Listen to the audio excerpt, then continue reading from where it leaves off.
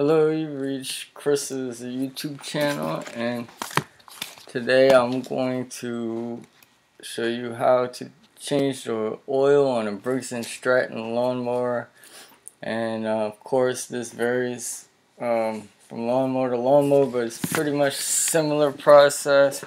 It's very easy, it should take you about as long as this video because you know I'm gonna do it of course. But anyway, the all you're gonna need is some gloves. Let's see what else. Some Briggs and Stratton. SA SAE 30 small engine oil, and um, you know just that's all you're gonna need, and maybe a 3 8 with a 3 inch extension a 3 8 ratchet with a 3 8 extension and if you want to change your air filter just gonna need a screwdriver. Let's see. Now I'll show you the air filter first. I'm gonna just check it. Let's see. Uh, oh, okay there. So you got the screw one screw holds it on. Now I'm not gonna change mine I'm just gonna show you how easy it is well, actually, I am going to change it, but I, I'm going to change it later. I got one. So mine, yeah, mine's pretty messed up, so I'm going to go ahead and change it. I'm going to leave that there. You see there's just one screw. You screw it back in. Boom. I'm going to change that. But now I'm going to just show you where you, what you're going to do here. So, you just turn your lawnmower kind of at an angle better if you chalk up the wheel on something. my situation, oh, let's see, I'm going to try to do this. Uh, I might have to chalk the wheel up so it doesn't look like my, alright, maybe you don't need this. Yeah, okay. So yeah, maybe you don't you don't need the three three inch extension. I just found that out.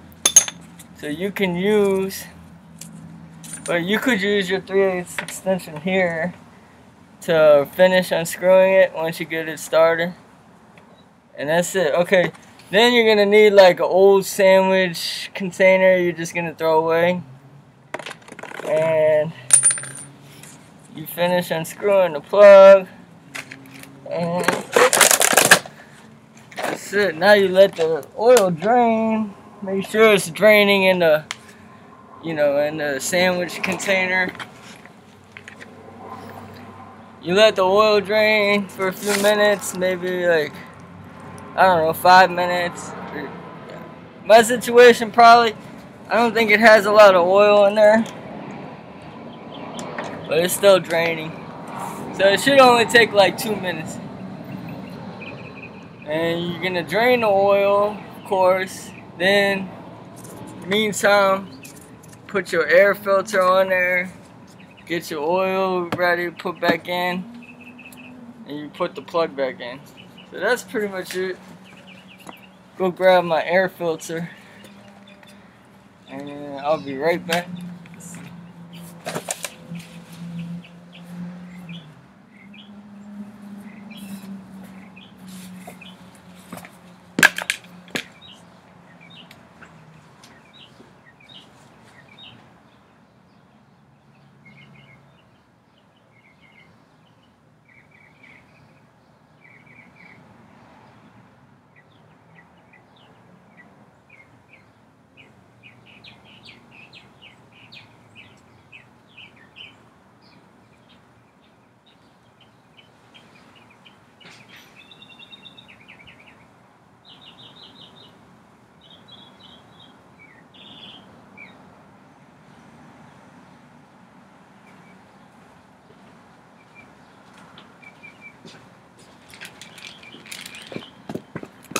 Alright, boom. Got a brand new air filter. It's like that. And you just put it in face down like you took it out. And you screw it back on.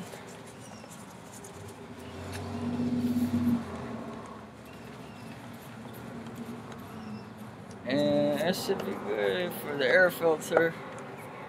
Let's check and see if the oil's done draining. I think it's done, but I gotta check.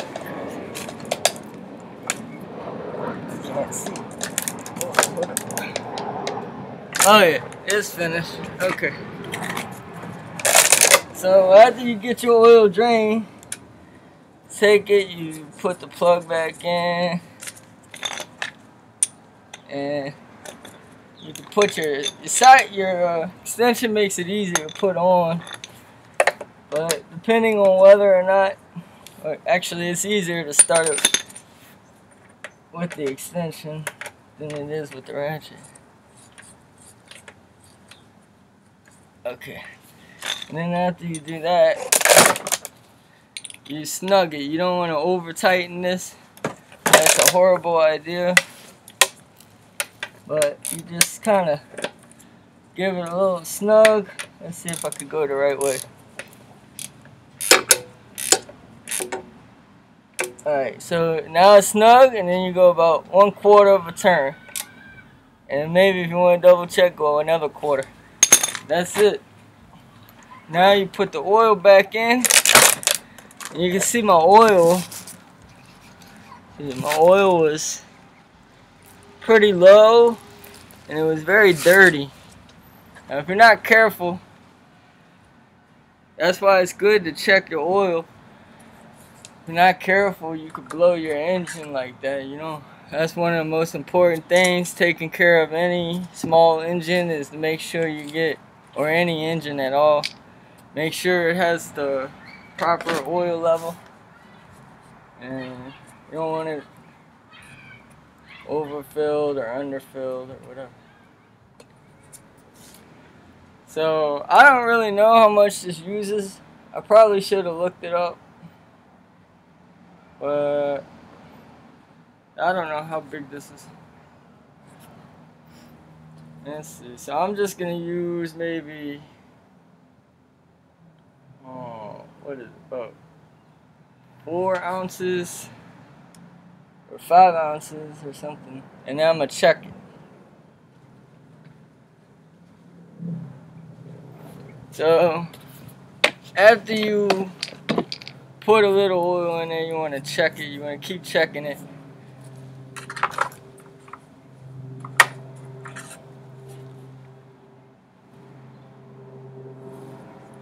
Okay, so I checked it. It looked okay. But I'm going to let it settle down for a second. You always want to check it more than once. The first time, you might not get an accurate reading. First time, just give you an idea what's in there.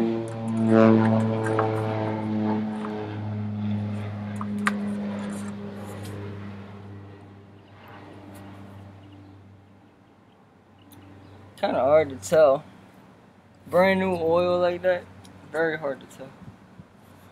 Let me check it one more time.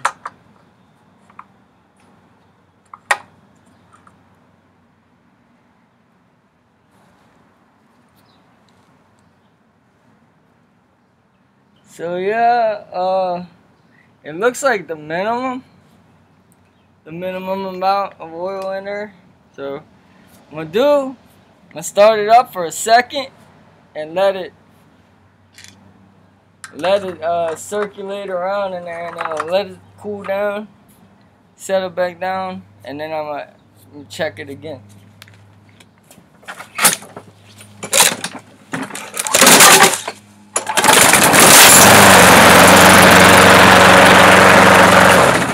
Alright. So yeah, I just want to start it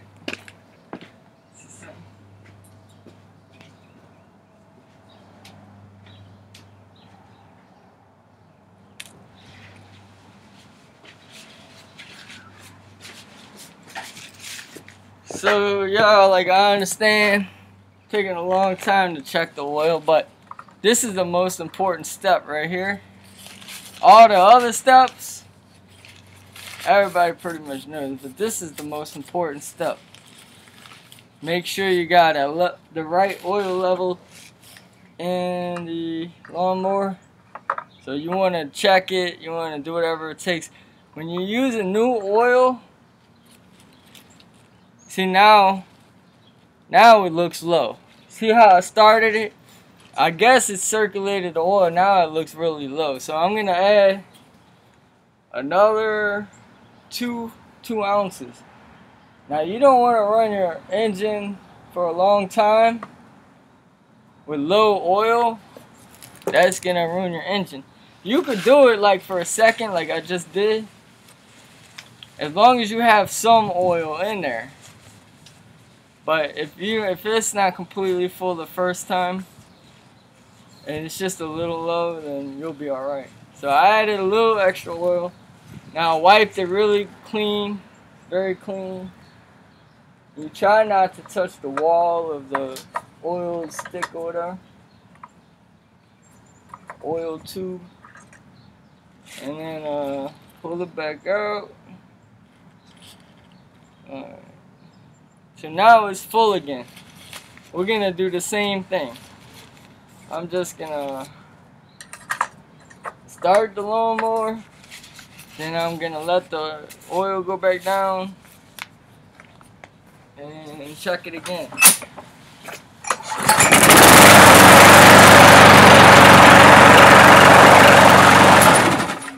Uh, the earphones. Okay.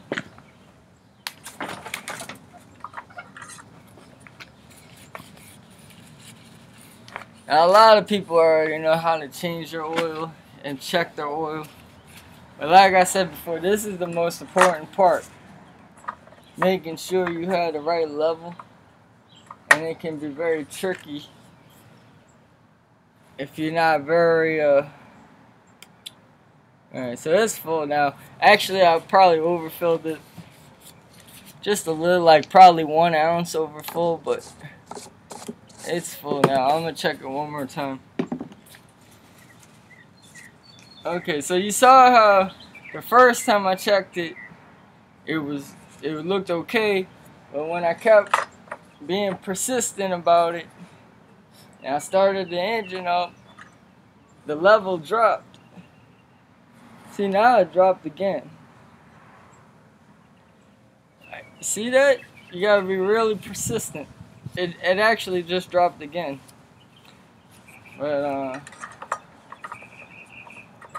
it just takes a minute for the oil to sit, sit down at the bottom where it's supposed to be.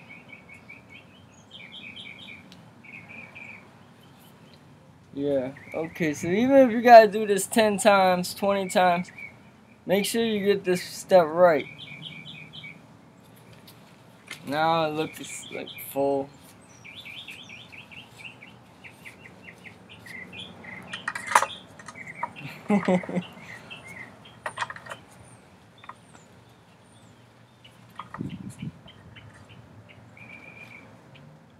okay, well, I can see there's a dry spot on the stick kind of towards the bottom. I'm gonna say it probably needs a little bit more. But let me just check it one more time. I think we were supposed to actually look at the these two empty holes. I don't know for sure, but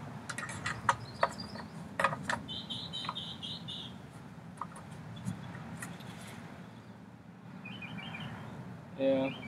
Okay, yeah, it's still a little low. See that persistent pays off.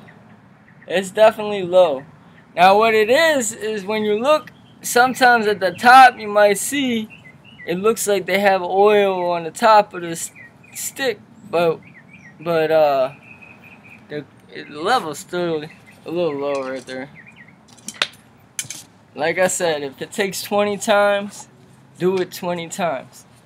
But make sure you get the right amount of oil in here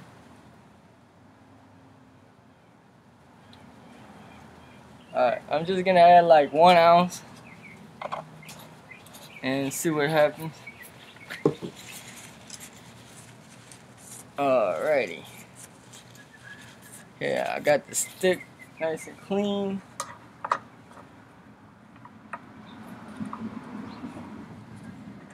Alright, try to get straight up.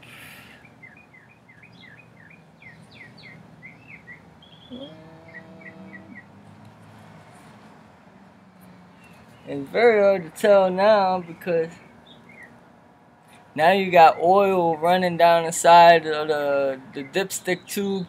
It takes a few seconds for that to clear out. So it just gets complicated trying to see, especially with the clean oil. You got clean oil on here. I think it's full, but I'm going to keep being persistent because I want to make sure I got the right level.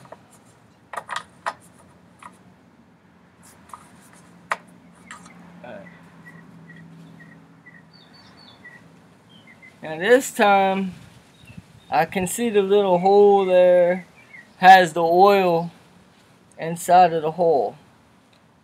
And I think that's what you're really looking for. You see they got,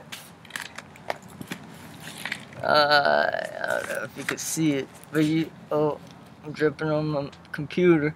See the little holes, the two little holes right there? So the bottom hole, it actually has oil inside of that hole. I don't know if you can see that. The top hole does not have oil inside the hole. And you don't want oil really inside of the top hole. Because that means it's overfilled. You want the oil in the bottom hole, but not the top hole. So we're going to try checking it a couple more times. Make sure we got the proper level of oil in the engine. Alright, so pulled it out again. And yeah, so the level looks 100% this time. It looks great. I'm going to check it again just to be sure. Actually, I'm going to start it and then I'll check it one more time. Or maybe one. I'm going to start it one more time and then I'll check it a few more times. I don't think you need to start it, but there's no oil filter on here. On a car, you need to start it. But there's no oil filter.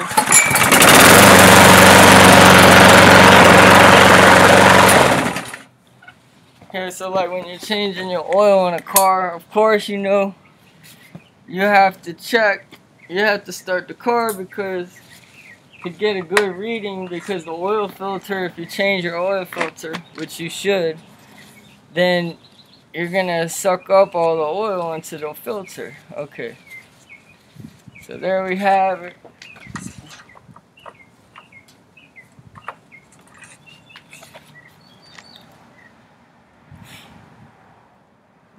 Yeah. Okay, so it's good. But it's it's it's on the low side of good, but it's good, you know. It's not empty. And after that, I'm pretty much assured that this engine has the right amount of oil in there.